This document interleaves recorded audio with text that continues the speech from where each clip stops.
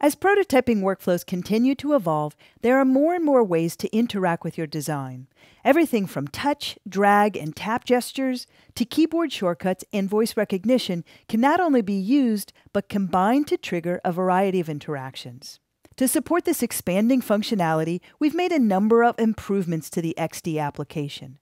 Let me show you just a few of them. I'm here in prototype mode in Adobe XD, and I have a number of artboards that I'm working with.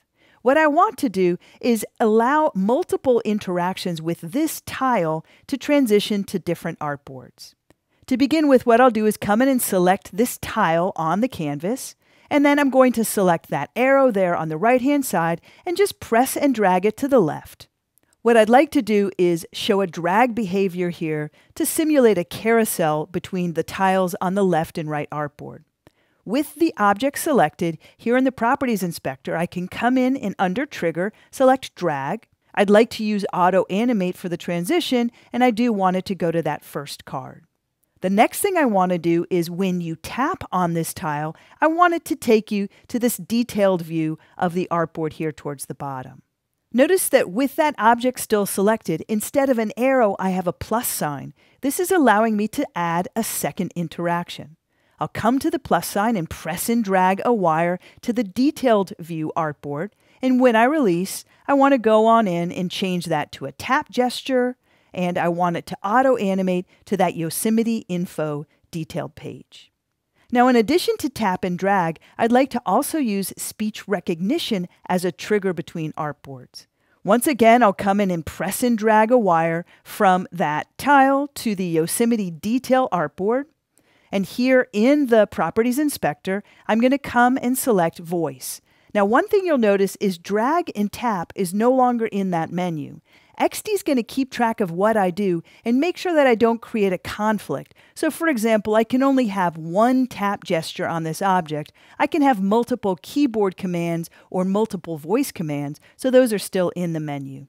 I'll go ahead and select voice and I'll add a command. Now, one thing I'd like to do as part of a usability study is test which sort of voice commands make the most sense to my users. So I want to add a few more voice commands. To do that, I could once again come in and press and drag a wire, or alternatively, with the object selected on the canvas, here in the Properties Inspector, I can now click in the upper right-hand corner of the interaction area to add my next interaction. Once again, I want it to be voice. I want it to auto animate between the artboards. I'll go ahead and type a command. And because I am connecting artboards here in the Properties Inspector, I'll go ahead and select Yosemite from the list here, and then I'll hit Return. Now, some nice subtle things have happened in the interface that I'd like to point out. First off, when you look here at the wire going from this first artboard to the second, there's a circle with a number 3. If I roll over that wire, a tooltip appears letting me know that I've applied one tap gesture and two different voice gestures, so I get some nice information there.